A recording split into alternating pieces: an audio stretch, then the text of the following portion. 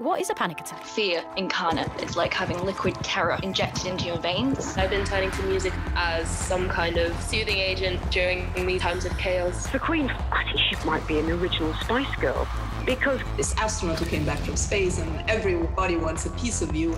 There was another part of my anatomy which luckily they saved. Okay. So I don't know if I can say it on the radio. Yes, you can. You're on Woman's Hour. On Radio 4 and BBC Sounds.